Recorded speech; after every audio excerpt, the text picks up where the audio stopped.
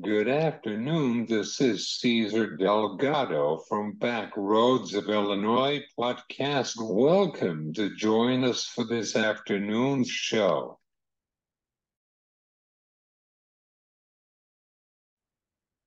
We are ready for this harvest season, but farmers will be careful with these dangerous equipment to the farmers with farming operation on the field.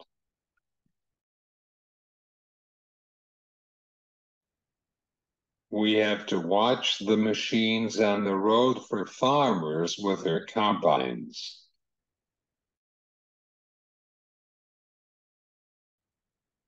Your corn is tipped back in the field. They are dry and no fertilizer program.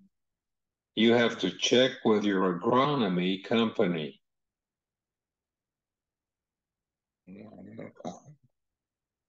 Of Illinois, I am Cesar Delgado. I am your host today.